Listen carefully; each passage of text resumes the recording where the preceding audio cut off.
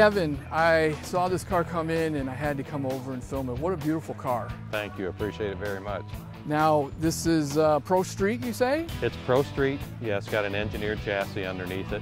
Um, Mustang 2 front end and 9-inch Ford. Um, Posi unit with a custom transmission, so I've actually got uh, six-speed automatic is basically what it is, kind of like a Gear Vendor. Okay, and let's talk about the elephant in the room per se. What's sticking out of the hood? What do we got going on there?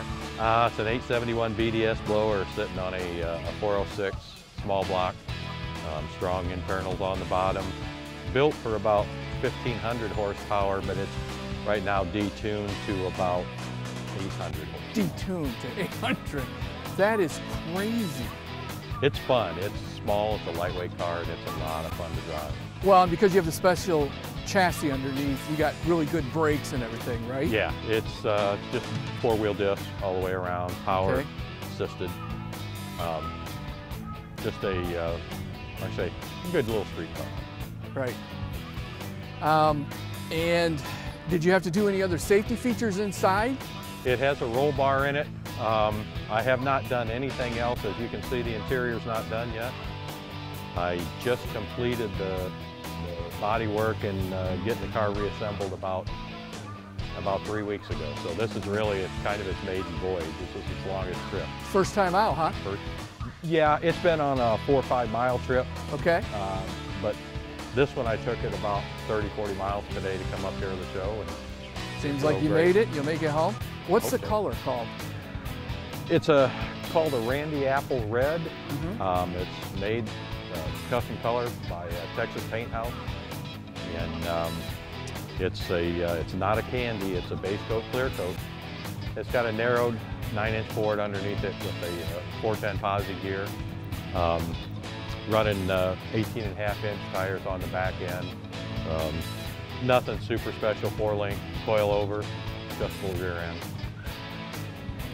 did some little trick things. Uh, obviously, the exhaust don't come out through the bumpers anymore, so uh, I found some lights and they fit in there real nice. So my backup lights are now my exhaust holes. Nice. And you, how much of this did you do yourself? Um, I had a lot of help, obviously, body and paint.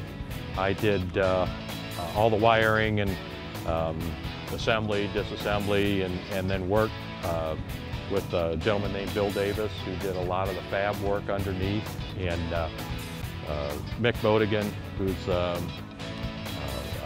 a phenomenal car builder. Uh, did the bottom end of the refreshing up the motor for me and and Bowers Paint Studio out of Decatur, Indiana, south of here about 50 miles, did the uh, paint work. Did well, they did a phenomenal job. fantastic job. It is absolutely beautiful. Thank you.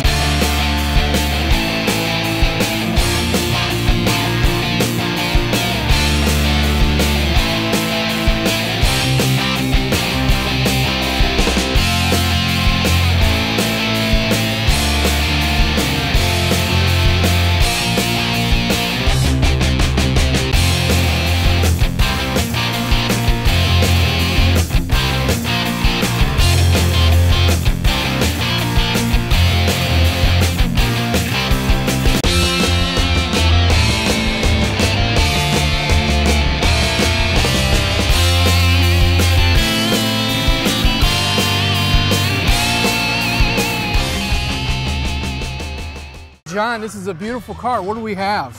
Oh, thank you, thank you so much. It's uh, 1959 Austin Healey 106. It's uh, a little unusual for a 59 Healey in that it's a two-seater. Most big Healeys like this are four-seaters. Yeah. Plus it has the uh, optional factory hardtop, which is uh, a very rare accessory. How long have you owned it? Uh, we've had it about five years. I bought it out, out of an estate where it had been in long-term storage for almost 40 years. Wow. Yes. It it came like this, or you do have to do the work? Oh, we did a lot of work to it, of course, yeah. But it was a good, solid, original car to start with.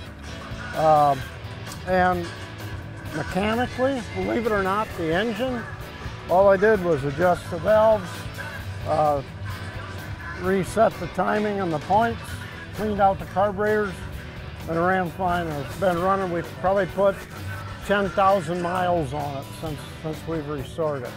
Well, that's amazing. Um, it is beautiful. So, how much of the work did you get to do yourself? Well, I, I'm more of a mechanic guy, so I did a lot of the mechanical stuff, the brakes and clutch and even replace the transmission.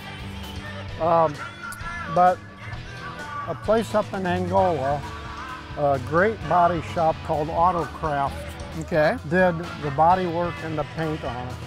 It's beautiful. They did a fantastic job, didn't I, they? I'm very happy with it. I bet you and your wife had a lot of fun driving around in this. We did. I might also add, by the way, all that front end trim and chrome up there, all I did was polish that up. That's all original. It's not replicas or anything. Somebody took very good care of it They before did. you got it, and that makes it easier for you, right? absolutely.